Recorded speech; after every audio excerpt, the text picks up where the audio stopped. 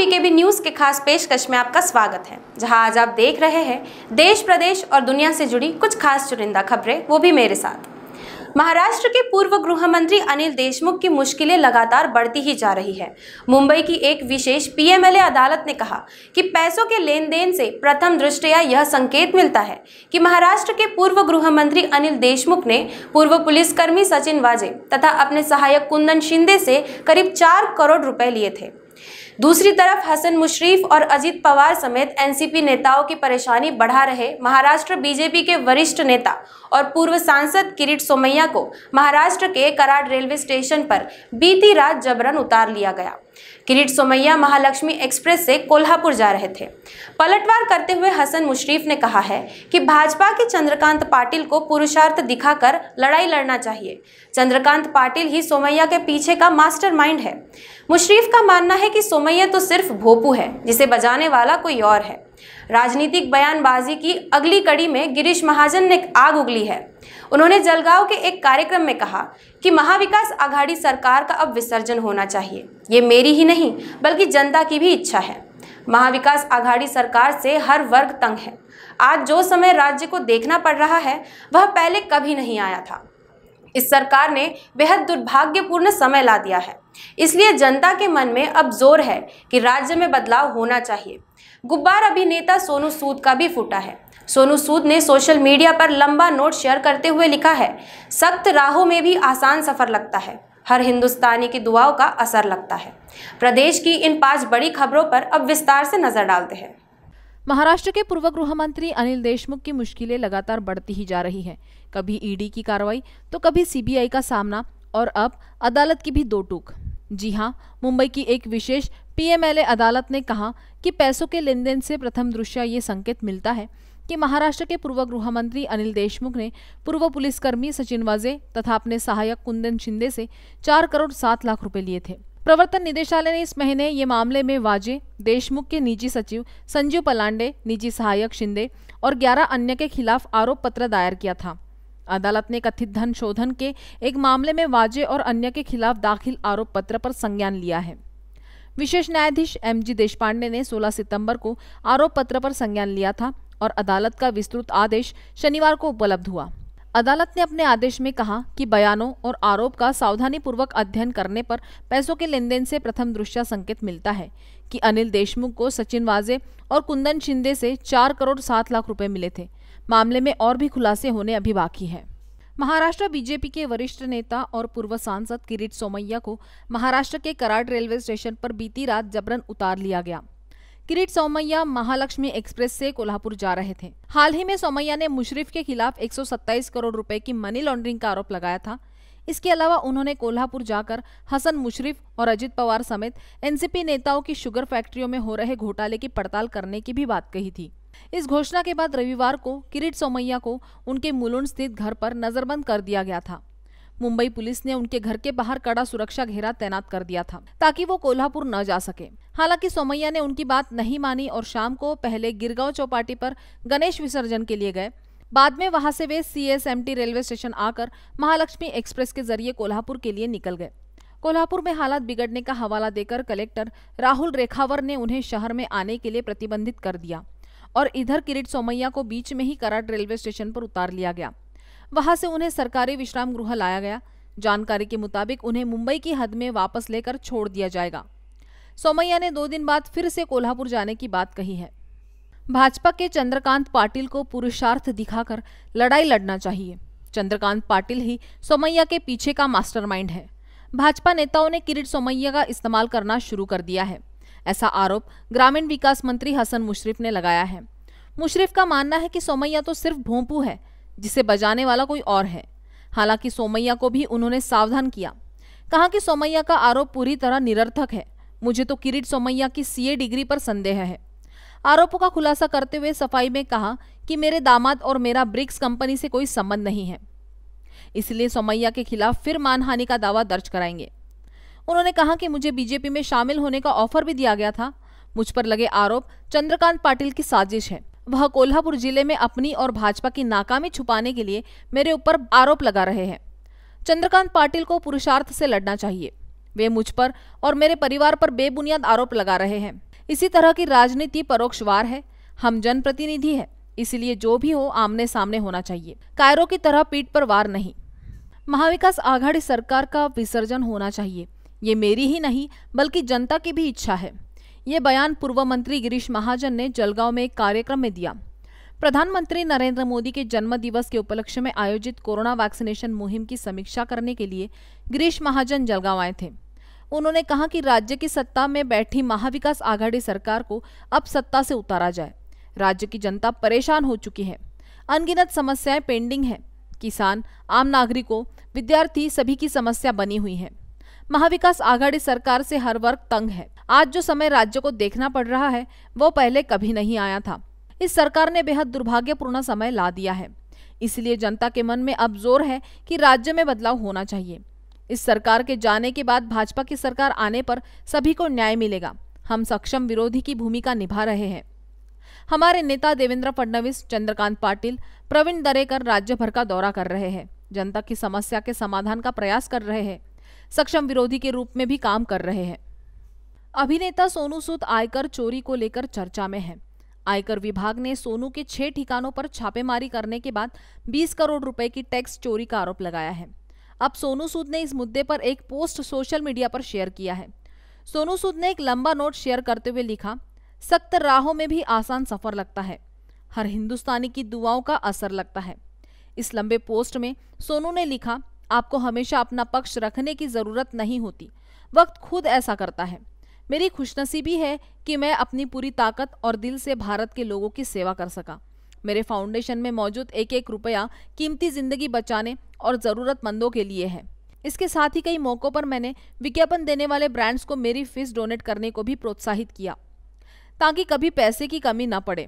मैं कुछ मेहमानों की आवभगत करने में व्यस्त था इसलिए पिछले चार दिनों से आपकी सेवा के लिए उपलब्ध नहीं था। अब मैं एक बार फिर पूरी विनम्रता के साथ आपकी सेवा में ज़िंदगी भर के लिए वापस आ गया हूँ। कर भला, हो भला, अंध भले का भला। मेरा सफ़र जारी रहेगा। जय हिंद। आज की सबसे बड़ी खबर रूस से है। वहाँ व्लादिमीर पुतिन का एक बार फिर रूस का राष्ट्रपति बनना लगभग तय हो गया है। रविवार को खत्म हुए संसदीय चुनाव में उनकी पार्टी ने जीत दर्ज की है। हालाँकि विरोधियों ने धांधली के आरोप लगाए हैं।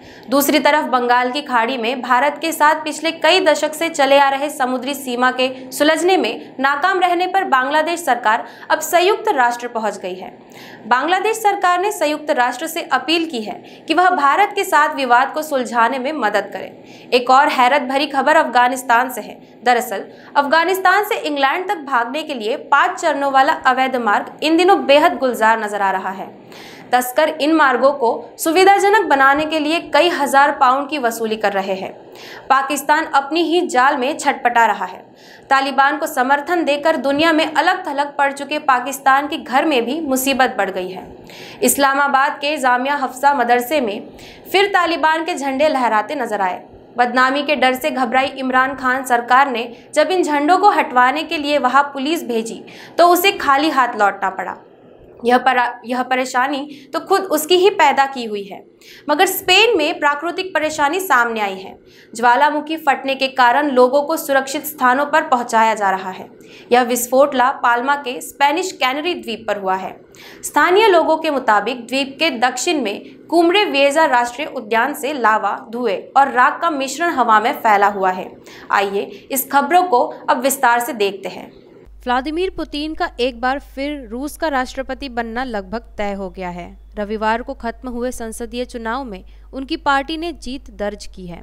हालाँकि विरोधियों ने धांधली के आरोप लगाए हैं। शुरुआती नतीजों के बाद ही पार्टी ने जीत का जश्न मनाना शुरू कर दिया था। समर्थकों ने रोसियो रोसियो के नारे लगाते हुए बारिश के बावजूद देश की राजधानी मॉस्को की सड़कों पर जुलूस निकाला। वे लोग नारे लगा रहे थे, हम पुतिन की टीम है। नतीजों के ऐलान के बाद राष्ट्रपति व्लादिमीर पुतिन मॉस्को स्थित प्रचार मुख्यालय नहीं गए। क्योंकि वह कोरोना वायरस से संक्रमित लोगों के संपर्क में आने के बाद से एकांतवास में है। पार्टी का कहना है कि वह स्वस्थ है। धांधली के आरोप अंतरिम नतीजों के मुताबिक कम्युनिस्ट को 21.3 प्रतिशत वोट मिले, जबकि अति राष्ट्रवादी लातिमिर जिरिनोस्की की दक्षिण पंथी एल को लगभग 8 प्रतिशत वोट मिल रहे हैं। एजेस्ट रशिया पार्टी 7.6 फ़ीसदी मत हासिल कर रही है। रूस में तीन दिन तक वोटिंग चली थी। जिसमें देश के निचले सदन ड्यूमा की 450 सीटों के लिए चुनाव हुआ था। हालाँकि ये वोटिंग शिकायतों और आरोपों से भरी रही। चुनाव अधिकारियों को उल्लंघन की 750 से ज़्यादा शिकायतें मिली। बंगाल की खाड़ी में भारत के साथ पिछले कई दशक से चले आ रहे समुद्री सीमा के सुलझने में नाकाम रहने पर बांग्लादेश सरकार अब संयुक्त राष्ट्र पहुँच गई है। बांग्लादेश सरकार ने संयुक्त राष्ट्र से अपील की है कि वह भारत के साथ विवाद को सुलझाने में मदद करे। बताया जा रहा है कि संयुक्त राष्ट्र में बांग्लादेश के स्थायी मिशन ने सोमवार को भारत के खिलाफ संयुक्त राष्ट्र महासचिव के समक्ष दो अपील दाखिल की। बांग्लादेश ने बंगाल की खाड़ी में भारत के सीधे आधार रेखा के दावे का विरोध किया है। बांग्लादेश के पूर्व विदेश सचिव शहीदुल हक के हवाले से कहा गया है कि दोनों पड़ोसी देशों के बीच ये मुद्दा पिछले कई साल से लटका हुआ है। अब तक कई बार की बातचीत के बाद भी दोनों ही पक्ष इस सीमा विवाद का हल करने में नाकाम रहे हैं। अब दोनों ही पक्ष संयुक्त राष्ट्र गए हैं और हम आशा करते हैं कि दुनिया का सबसे बड़ा प्लेटफॉर्म एक स्थायी हल मुहैया कराएगा। इससे पहले भारत सरकार ने अप्रैल में संयुक्त राष्ट्र में एक पत्र भेजकर बांग्लादेश के आधार रेखा का विरोध किया था। दरअसल, बंगाल की खाड़ी बांग्लादेश के लिए एक अद्भुत संसाधन है और उसके कानूनी समुद्री क्षेत्र पर पूर्ण प्रभुत्व देश की संप्रभुता से जुड़ा हुआ है। अफ़गानिस्तान से इंग्लैंड तक भागने के लिए पाँच चरणों वाला अवैध मार्ग इन दिनों बेहद गुलजार नज़र आ रहा है। तस्कर इन मार्गों को सुविधाजनक बनाने के लिए कई हज़ार पाउंड की वसूली कर रहे हैं। अगर कोई अफ़गानिस्तान से भाग रहा है तो इस रास्ते में पहाड़ों से गुजरना होगा। अगर पाकिस्तान का रास्ता लो तो रेगिस्तान पार करना पड़ता है। भागने के दूसरे चरण में लोग पाकिस्तान से तुर्की तक हवाई सफ़र कर सकते हैं, लेकिन इसमें वीज़ा पर आया खर्च भी शामिल होता है। एक दूसरा विकल्प अफ़गानिस्तान से ईरान जाना और फिर ईरान के सड़क के रास्ते से तुर्की जाना है। इसके अगले चरण में लोगों को तुर्की से यूरोप भेजा जाता है। इसमें बोस्निया पहला पड़ाव होता है और लोगों को जर्मनी, फ्रांस, बेल्जियम या नेदरलैंड जैसे देशों में से किसी एक में जाने को कहा जाता है। रास्ते से जिन लोगों को भगाया जाता है, उन्हें तस्कर गेस्ट यानी अतिथि कहते हैं। हर एक चरण में काफ़ी समय और पैसा लगता है। इसलिए तस्कर ही लोगों के लिए एकमात्र विकल्प होते हैं, क्योंकि इससे उन्हें किसी कारणवश स्थानांतरित किए जाने का डर नहीं रहता। तालिबान के चल रहे तलाशी अभियानों के डर और उसकी आशंकाओं के बीच पूर्व ब्रिटिश सैन्य अनुवादक इस मार्ग को अपना रहे हैं। रिपोर्ट में कहा गया है कि तालिबान द्वारा काबुल पर कब्जे के बाद से मानव तस्करों के कारोबार में 150 प्रतिशत की वृद्धि हुई है। रिपोर्ट में कहा गया है कि यात्रा के अलग अलग चरणों का प्रबंधन तस्करों की अलग अलग टीमों द्वारा किया जाता है। तालिबान को समर्थन देकर दुनिया में अलग थलग पड़ चुके पाकिस्तान की घर में भी मुसीबत बढ़ गई है। इस्लामाबाद के जामिया हफ्सा मदरसे में फिर तालिबान के झंडे लहराते नज़र आए। बदनामी के डर से घबराए इमरान खान सरकार ने जब इन झंडों को हटवाने के लिए वहाँ पुलिस भेजी तो उसे खाली हाथ लौटना पड़ा। अफसर इस मदरसे के अंदर तक नहीं जा सके। पुलिस के पहुँचने के कुछ देर बाद ही मौलाना अब्दुल अज़ीज़ अपने दफ्तर के बाहर ए के लेकर बैठ गया और धमकी देते हुए कहा कि तुम वहाँ क्यों नहीं जाते, जहाँ गलत काम होते हैं। यहाँ बच्चों को डराने आ गए।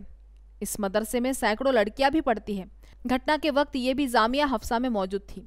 घटना के दौरान छात्राएँ मदरसे की छत पर जुट गई और तालिबान के झंडे लहराती रही। बता दें कि यहाँ कुछ महीने पहले महिलाओं ने फ्रांस के राष्ट्रपति एमिन्यूएल माइक्रो के पुतले का सिर भी काटा था। बहरहाल, अज़ीज़ के खिलाफ जल्द ही कार्रवाई की जा सकती है, लेकिन पुलिस को इसमें हिंसा की आशंका है। हालाँकि इस्लामाबाद पुलिस के डिप्टी कमिश्नर ने सोशल मीडिया पर जारी बयान में कहा कि झंडे उतरवा लिए गए हैं, लेकिन कई मीडिया हाउस ने इसके फोटोग्राफ जारी करके उनके दावे को खोखला करार दिया है। स्पेन में ज्वालामुखी फटने के कारण लोगों को सुरक्षित स्थानों पर पहुँचाया जा रहा है। यह विस्फोट ला पाल्मा के स्पेनिश कैनरी द्वीप पर हुआ है। स्थानीय लोगों के मुताबिक द्वीप के दक्षिण में कुम्ब्रे विएजा राष्ट्रीय उद्यान से लावा, धुएँ और राख का मिश्रण हवा में फैला हुआ है। हालाँकि अंदेशों को भाप, आसपास के गाँवों के लोगों और जानवरों को विस्फोट से पहले ही निकालना शुरू कर दिया गया था। इसके लिए सैनिकों को भी तैनात किया गया था। आसमान में लावा के फव्वारे और पूरे द्वीप से धुएँ के गुब्बार देखे जा सकते थे। विस्फोट से पहाड़ी में दरारें आ गई है। विस्फोट कितने समय चलेगा कुछ कहा नहीं जा सकता। कैनरी द्वीप के अध्यक्ष एंजल टोरेस ने बताया कि अब तक किसी के घायल होने की खबर नहीं है। इसी बीच स्पेन के प्रधानमंत्री पेट्रो सांचेज ने न्यूयॉर्क में संयुक्त राष्ट्र महासभा की अपनी यात्रा स्थगित कर दी है। उन्होंने ट्वीट कर इसकी जानकारी दी। एयरपोर्ट संचालक एना ने कहा कि कैनरी से आने जाने वाली उड़ानें सामान्य रूप से जारी है। कमरे वियेजा में एक हफ़्ते में बाईस हज़ार से अधिक झटके आने के बाद ला पाल्मा हाई अलर्ट पर था। कैनरी में सबसे एक्टिव ज्वालामुखी क्षेत्रों में से एक है। स्पेनिश नेशनल जियोग्राफिकल इंस्टीट्यूट के अनुसार, ला पाल्मा में सबसे पहले विस्फोट 1430 में हुआ है। 1971 में लावा प्रवाह के पास फ़ोटो लेते समय एक शख्स की मौत हो गई थी। पंजाब में नए अध्याय की शुरुआत हो गई है। सत्ता फेरबदल के बाद आज चरणजीत सिंह चन्नी ने अगले मुख्यमंत्री पद की शपथ ली। चन्नी के साथ दो डिप्टी सीएम ने भी शपथ ली है। कांग्रेस ने दलित चेहरा आगे कर 2022 के चुनाव के लिए आधार मज़बूत करने की रणनीति अपनाई है। लेकिन आधार खिसकता देख पूर्व केंद्रीय मंत्री डीवी सदानंद गौड़ा परेशान है। उनकी परेशानी का कारण एक अश्लील वीडियो है। उन्होंने चेतावनी दी है कि जो इस वीडियो को आगे बढ़ा रहा है या डाउनलोड कर रहे हैं, वे गलत कर रहे हैं, क्योंकि कुछ लोगों ने जानबूझकर हमारी छवि को धूमिल करने का प्रयास किया है। उन्होंने वायरल वीडियो के सच को खारिज किया है। शर्मसार करने वाली इस घटना के अलावा बिहार की राजधानी पटना भी गैंग रेप की वारदात से शर्मसार हुई है। राजधानी के एक बड़े होटल में एक इवेंट एंकर के साथ दो लोगों ने सामूहिक दुष्कर्म किया। पीड़ित ने हावड़ा लौटकर एफआईआर दर्ज कराई। तो मामले का खुलासा हुआ। आरोपी मुजफ्फरपुर के रहने वाले हर्ष रंजन और उसके साथी विक्रांत केजरीवाल है। इस बीच, एयरपोर्ट पर सेलिब्रिटी के साथ बदसलूकी की घटनाओं में एक और कड़ी जुड़ गई है। सत्यमेव जयते और बाबा की चौकी फेम अभिनेत्री आयशा शर्मा ने दिल्ली हवाई अड्डे पर जाँच के दौरान सुरक्षा एजेंसियों पर बदसलूकी करने का आरोप लगाया है। उन्होंने अपने ट्विटर हैंडल से लगातार आठ ट्वीट कर आप बीती बताई है। इन घटनाओं के अलावा धोखाधड़ी के मामले भी कम नहीं। दिल्ली की उत्तर पश्चिम जिला साइबर सेल ने स्टार मेकर सिंगिंग ऐप पर लाइक बढ़ाने का झांसा देकर 90 गायकों से हुई करीब 10 करोड़ रुपए की ठगी का खुलासा किया है। इस मामले में साइबर सेल ने एक आरोपी को मेघालय के शिलांग से गिरफ़्तार किया है। पंजाब में सत्ता फेरबदल के बाद आज चरणजीत सिंह चन्नी ने अगले मुख्यमंत्री पद की शपथ ली। चन्नी के साथ दो डिप्टी सीएम ने भी शपथ ली है। राहुल गांधी भी इस शपथ ग्रहण समारोह में शामिल होने के लिए चंडीगढ़ पहुँचे। शपथ ग्रहण से पहले चरणजीत चन्नी ने सबसे पहले गुरुद्वारा जाकर माथा टेका। वे पंजाब के पहले दलित सीएम हैं। राज्यपाल बनवारी लाल पुरोहित ने चन्नी को पद तथा गोपनीयता की शपथ दिलाई। राज्य पार्टी प्रभारी हरीश रावत ने इसके पहले कहा था कि मुझे ये घोषणा करते हुए बेहद खुशी हो रही है कि चरणजीत सिंह चन्नी को सर्वसम्मति से पंजाब कांग्रेस विधायक दल का नेता चुना गया। चमकौर साहिब से विधायक उनपचास वर्षीय चन्नी पंजाब के पहले दलित मुख्यमंत्री और राज्य में सबसे कम उम्र के मुख्यमंत्री हैं। वह रामदसिया समुदाय से ताल्लुक रखते हैं। उनकी नियुक्ति के साथ कांग्रेस मार्च 2022 में होने वाले विधानसभा चुनाव से पहले 32 प्रतिशत दलित मतदाताओं को लुभाने की कोशिश कर रही है।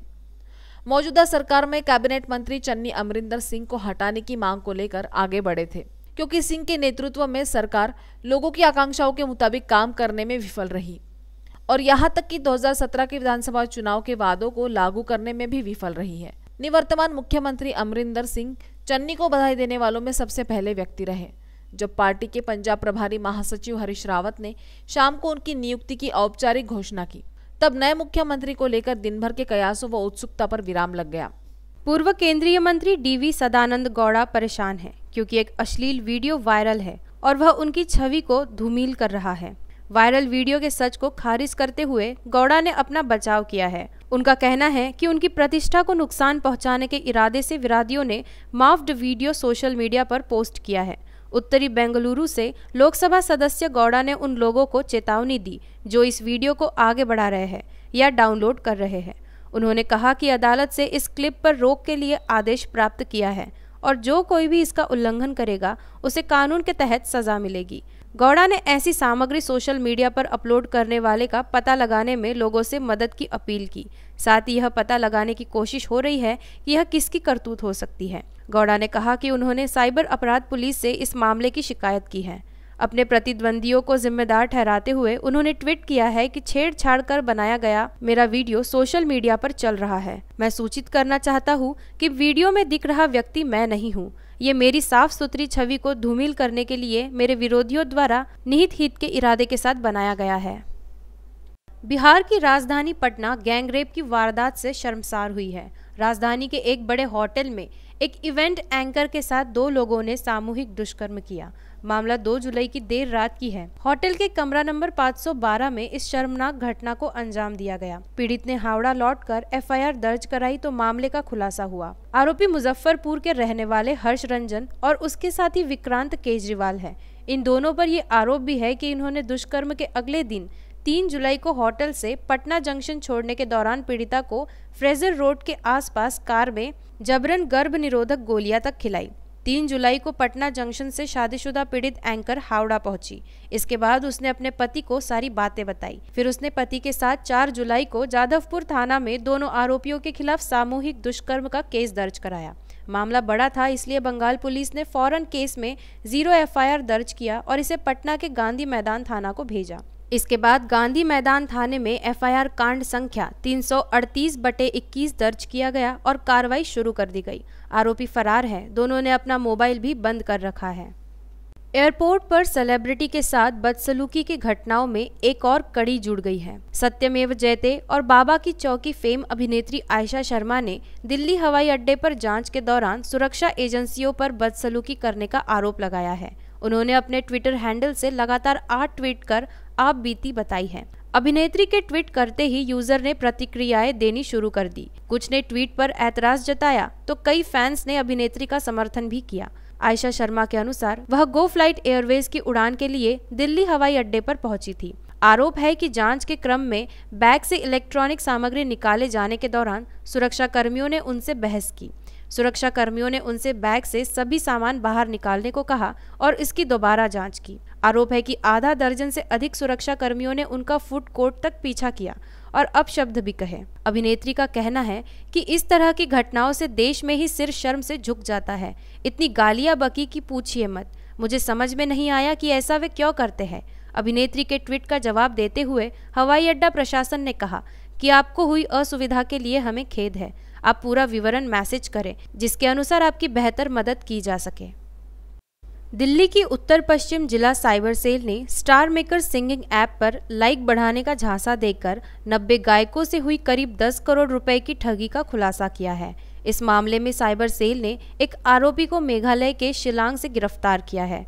पुलिस अन्य पीड़ितों के बारे में जानकारी जुटा रही है। गिरफ़्तार आरोपी महावीर चार साल से इस तरह ठगी कर रहा था। पुलिस को आरोपी के खिलाफ फिरोजपुर में साढ़े आठ लाख और ऋषिकेश में चौबीस लाख रुपए की ठगी की शिकायत का भी पता चला है। आरोपी ने बताया कि वह खासकर उभरते हुए गायकों को शिकार बनाता था। शालीमार बाग इलाके में रहने वाले गायक 50 वर्षीय लोकेश वोहरा ने स्टार मेकर ऐप पर अपना अकाउंट बनाया था, जिस पर वह अपने गाने अपलोड करते थे। ऐप पर ही महावीर प्रसाद शर्मा नाम के शख्स ने उनसे ऑनलाइन संपर्क साधा और दावा किया कि वह स्टार मेकर ऐप पर उनके अपलोड गानों पर लाइक बढ़ाने में उनकी मदद कर सकता है। लोकेश झांसे में आ गए और उसे 21 लाख रुपए दे दिए। महावीर ने 21 लाख लेकर मोबाइल बंद कर लिया। करोड़ों रुपए के इस लेन देन प्रकरण में खाते की जाँच के आधार पर पीड़ितों से संपर्क किया जाएगा। सूत्रों की माने तो पीड़ितों की संख्या बढ़ भी सकती है। तो आज की इस खास पेशकश में बस इतना ही। आपसे कल फिर मुलाकात होगी। तब तक देखते रहिए वीकेबी न्यूज़। नमस्कार।